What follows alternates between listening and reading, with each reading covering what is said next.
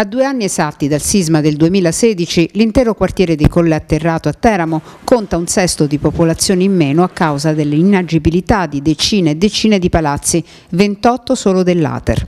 1200 sfollati, di cui 997 in autonoma sistemazione, 99 nuclei familiari in albergo e il disagio della lontananza da casa, soprattutto per gli anziani che in molti sono deceduti dal dolore dell'abbandono.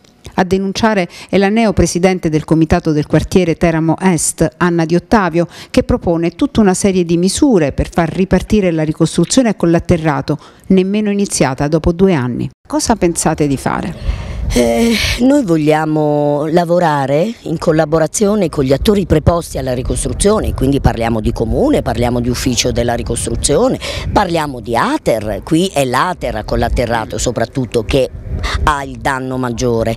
E da questa collaborazione espressa anche in termini di pungolo, noi vogliamo l'accelerazione della ricostruzione. Lei è stata eletta in questo comitato, intanto è una donna, quindi è già un grande risultato. Ecco, um, come, come, sono avvenute queste elezioni?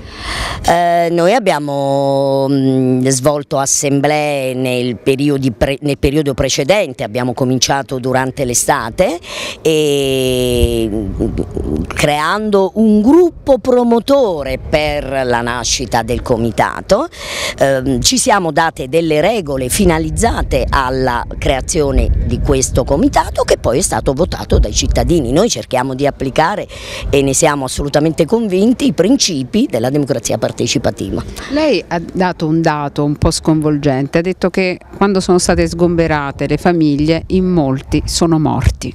Beh sì, sì, ripeto, non voglio dare alcun valore statistico alla cosa, però data l'età media e per quella che è la mia esperienza personale, la mia palazzina ha 18 alloggi. In questi 18 alloggi, chiaramente sfollati, sono morte tre persone. Nel, nei successivi tre mesi. Lasciare casa fa morire? Io non voglio arrivare a dire questo, di sicuro ti cambia la vita.